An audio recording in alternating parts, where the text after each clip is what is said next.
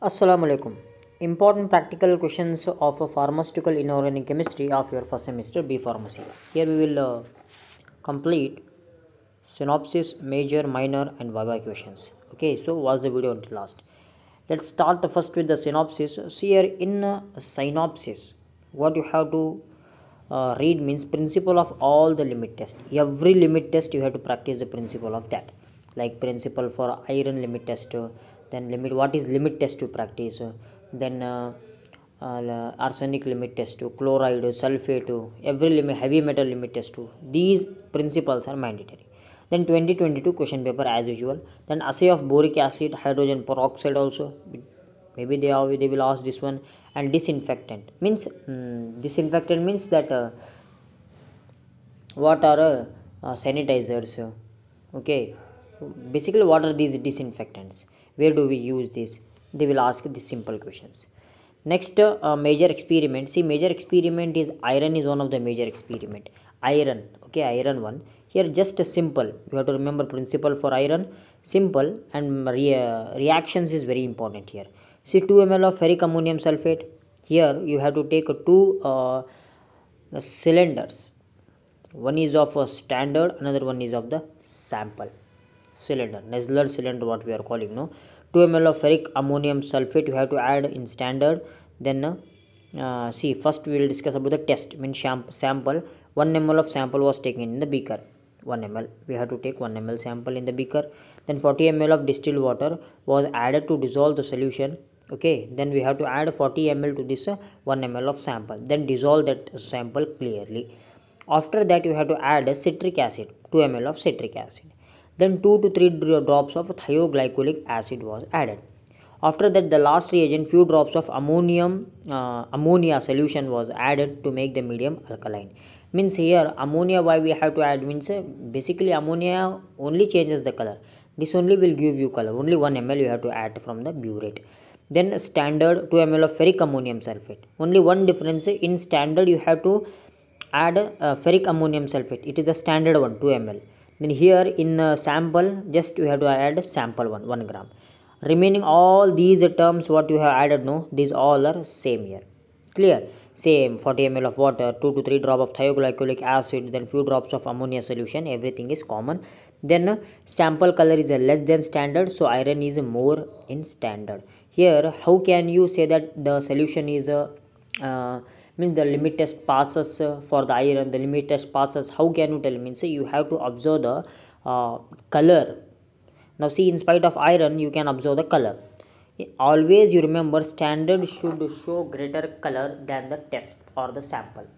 Then only your limit test passes. If the test shows a greater purple color or greater light brown color then your limit test fail i have told you always standard will show the greater color or the opalescence here in this limit test of iron color which one? Pale uh, sorry dark purple color. Okay purple color. It's one of the mandatory report you have to write it down. Then limit test for sulfate is also very important. Simple. Dissolve specified quantity of substance in 1 ml of distilled water in a Nessler cylinder then 2 ml of dilute HCl you have to add and make the volume 40 ml with water. Then add 5 ml of barium sulfate. Finish. Then here 1 ml of a standard solution. Which one? Potassium sulfate. Clear. Then 2 ml of dilute HCl. Make up the volume of 40 ml then add 5 ml of the barium sulfate. Hmm. two Nessler cylinder. They are in the same uh, uh, size length 50 ml only hmm. then uh, stir immediately with a glass rod and allow to stand for 5 minutes. Here also same. After uh, seeing the 5 minutes after allowing that two Nessler cylinder for 5 minutes you just take and observe the opalescence if greater opalescence in standard means your limit test passes okay than the sample. If the opalescence or the uh, turbidity is greater in the test or the sample when compared to the standard then your limit test fails. I have told you always your standard should show greater opalescence greater turbidity than the uh, test or the sample. This is one mandatory. You have to write down write down the procedure observation. Hmm. Now next is a minus. One more limit test is there. You refer limit test for heavy metals because for some students they are giving these heavy metals but mostly 100 in 100 percent 90 percent they are giving one is a sulfate other one is iron. Next minor experiment assay of boric acid is one very important one. Then hydrogen peroxide assay then uh, swelling powder of bentonite then identification test for sodium bicarbonate ferrous sulfate potassium iodide and calcium gluconate. These uh, for all these uh, um, chemicals you have to identify. Identification test of these five chemicals. Sodium carbonate bicarbonate ferrous sulfate potassium iodide calcium chloride okay calcium chloride very important one. These you have to practice down. Hmm. Then after that uh, you go through the uh, viva. Viva questions is simple. They will ask on your uh, mm, on the experiment. Means why you are using citric acid why you are using this ammonia? Ammonia is alkalizing agent. Hmm, these all answers you have to tell. Then what's the mm, Nessler cylinder? Okay Nessler cylinder what's the volume of that Nessler cylinder? You have to tell sir 50 ml volume of Nessler cylinders. Then what's the volume of the uh, test tube normal test tube? Sir 10 ml each test tube is a 10 ml of its volume. Then uh, they will tell arsenic limit test.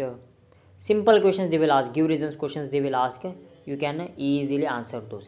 And where we use the boric acid you tell me. Where we use the bentonite. Bentonite sir it is used it is as an act as an cosmetic.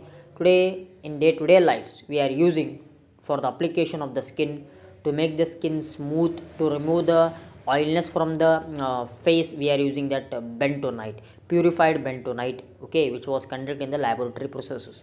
These are technical answers if you uh, say for your uh, invigilator means uh, definitely you will get good marks. But don't worry you just practice this type limit test and some of the synopsis like this one and minor experiment these are enough. Okay and viva you don't worry about the viva and record is mandatory for you all.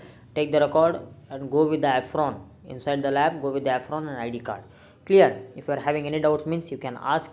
Thank you. Assalamu alaikum